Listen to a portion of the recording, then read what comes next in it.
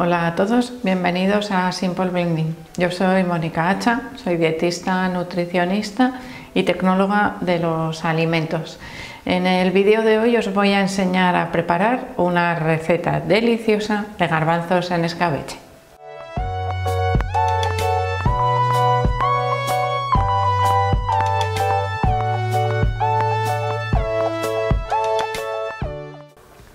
Hoy os voy a enseñar a preparar una receta facilísima, de esas de fondo de despensa, que de hecho nos puede servir la misma receta cambiando el ingrediente final, que será el principal, para prepararla con otro tipo de ingredientes. Voy a preparar unos garbanzos en escabeche, que es un plato riquísimo, tanto para tomarlos solos como para mezclarlos, por ejemplo, con una ensalada de hojas verdes o para tomarlos eh, de aperitivo, que también nos podrían servir, que muchas veces pensamos, uff, los garbanzos de aperitivo, ¿no? Un poco, una mezcla un poco rara. Bueno, yo os dejo ahí la receta porque ya vais a ver que nos va a dar mucho, muchísimo juego.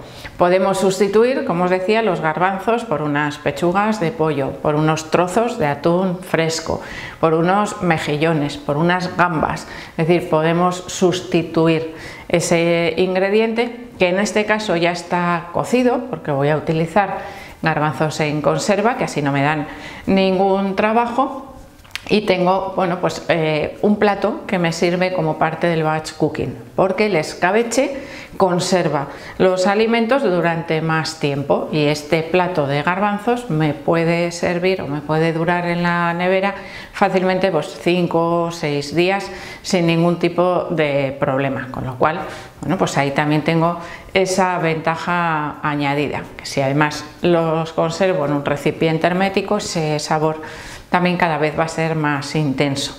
Las recetas en escabeche son recetas que se recomienda preparar con antelación para que estén reposadas.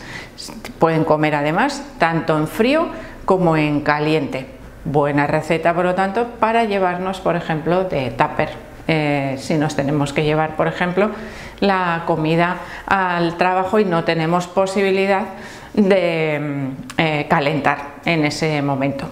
Podemos complementar también esta receta con otros ingredientes. Podría ser, por ejemplo, con unos huevos cocidos que los pongamos picaditos en el último minuto a la hora de comer, que también los podemos tener cocidos con antelación. Ya sabéis, si queréis conservarlos más tiempo, cocerlos y guardarlos en la nevera con la cáscara, sin pelar.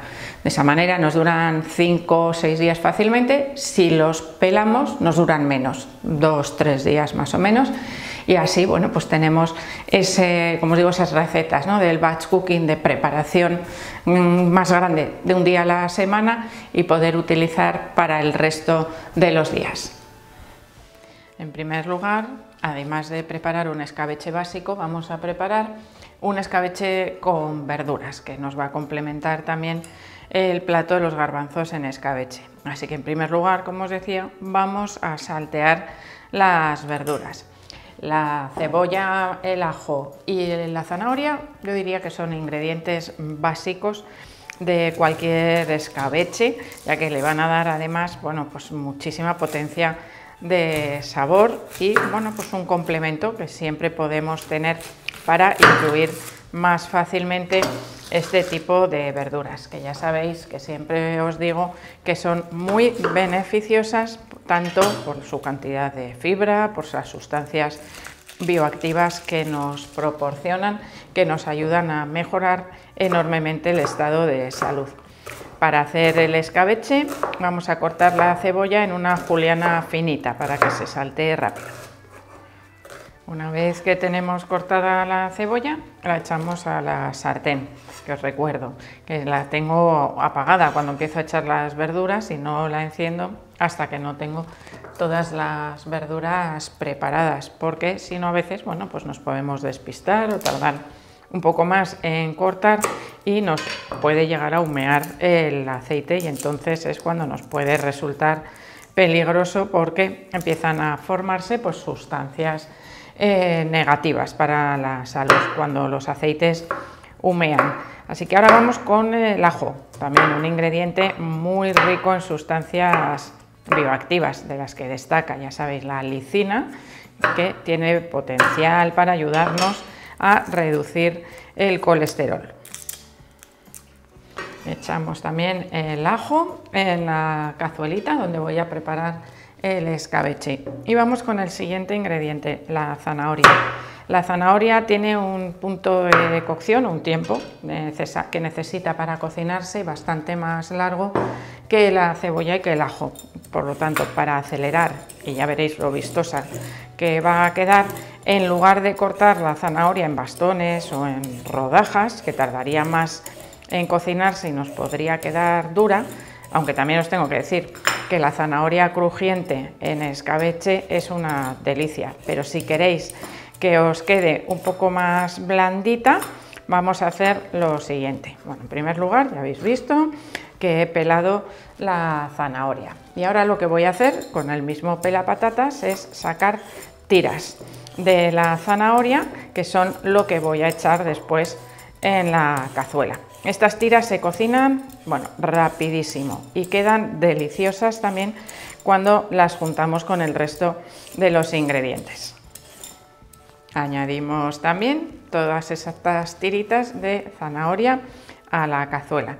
Y ahora vamos con el último ingrediente que voy a añadir para saltear un trozo de pimiento rojo. voy a quitar la parte inicial, que lo tenía ya pues de otra vez que me ha sobrado, le quito un poquito del principio y corto un trocito, que nos va a dar mucho color sobre todo. Lo voy a cortar pequeñito para que quede bien repartido por el escabeche. Recogemos también el pimiento y lo echamos a la cazuela. Y ahora ya sí podemos empezar a saltear todos los ingredientes hasta que la cebolla esté bien pochadita. Cuando ya tenemos las verduras bien pochaditas, vamos a añadir un poco de pimentón. Bueno, realmente una buena cantidad de pimentón. Aquí, por supuesto, que al gusto, pero es un ingrediente básico, yo diría, de los escabeches. También la pimienta negra en bolitas, pero luego es muy incómoda de comer. Es mejor si queréis añadirle pimienta, el añadido también ya habéis visto un poquito de sal. Bueno, si queréis añadirle pimienta, añadirle al final un poco de pimienta recién molida, que va a resultar mm, con el mismo sabor, pero mucho más fácil, por supuesto, a la hora de comer la receta. Esas bolitas de pimienta dan mucho sabor, pero dificultan después porque hay que irlas retirando, especialmente, por ejemplo, si comen niños, la receta del escabeche. Aquí tengo vino blanco, unos 100 mililitros aproximadamente, que vamos a echar para dejar evaporar el alcohol. Una vez que ya no huele a vino, ¿qué vamos a hacer? Añadir el vinagre, que es el ingrediente básico, podríamos decir, del escabeche, unos 50 mililitros aproximadamente, es decir, la mitad de cantidad de lo que habíamos utilizado también de vino. Aquí es un poco al gusto, hay gente que le gusta más avinagrado y hay gente que le gusta menos avinagrado y por lo tanto, bueno, pues podemos calcular un poco en función de nuestro gusto más o menos cantidad de vinagre. Y a continuación vamos a añadirle más cantidad de aceite, que también forma parte importante de los escabeches. ¿Por qué no se lo he añadido al principio? Porque el aceite que he añadido, que era poquito, esas dos cucharadas, ha estado caliente eh, y eso hace que pierda parte de sus propiedades, de sus eh, propiedades antioxidantes, vitaminas, minerales, porque lleva mucho tiempo de cocción. Sin embargo, ahora se lo añado, también lo podría hacer más tarde si tengo un ingrediente que tenga que cocinar más tiempo. Pero si se lo añado ahora, ¿qué ocurre? Que es casi casi como si lo hubiese añadido crudo. He bajado ya el fuego, añadimos esos 100 mililitros de aceite y a continuación los garbanzos cocidos, los garbanzos en conserva o cocidos por vosotros en casa, que también sería una opción estupenda. Y lo que vamos a hacer son 400 gramos aproximadamente, un bote de los grandes escurrido. Y ahora lo que hacemos es dejar que hierva todo junto unos 5 o 10 minutos para que vayan adquiriendo el sabor del escabeche. Y una vez que ya han estado cocinándose juntos, hirviendo a fuego suave unos 5 o 10 minutos, tenemos el plato de los garbanzos en escabeche terminado. Y ya por último, como siempre, pues solo nos falta servir los garbanzos para llevarlos a la mesa, que ya os digo que están tan ricos si los tomamos calientes como si los tomamos fríos. Pues imaginaros ahora este plato, como os he dicho al principio, con un poco de huevo duro picadito por encima. Pues tendríamos un plato perfecto para la comida. En este caso, como os he dicho, la receta de garbanzos en escabeche es una receta que podríamos decir o denominar vegana, pero ¿qué ocurre? Que muchas veces cuando preparamos recetas de legumbres, aunque nosotros no llevemos un estilo de alimentación vegano, evidentemente este tipo de recetas no llevan a priori alimentos de origen animal. Si os he dicho que podéis complementarlo, por ejemplo, con otros ingredientes como el huevo, unos mejillones que quedarían deliciosos para complementar o incluso pues unas gambas o unos trocitos de pescado que quedan fenomenal cuando se cocinan en escabeche. Es decir, nos puede servir también esta receta de garbanzos en escabeche como base para bueno, pues ampliar otros ingredientes y complementar la, receta.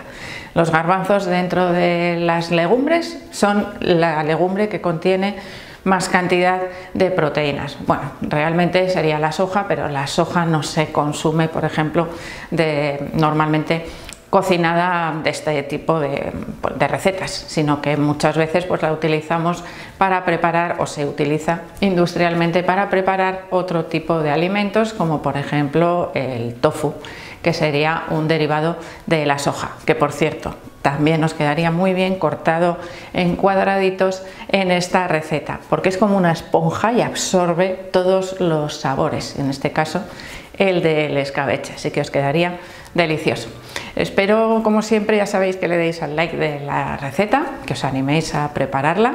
Ya sabéis que podéis haceros miembros del canal en el botón de unirse y por supuesto suscribiros también para no perderos ninguno de los vídeos. Me podéis seguir también en Facebook, en Pinterest, en Instagram o en Twitter. Y espero seguir viéndose a todos en los próximos vídeos.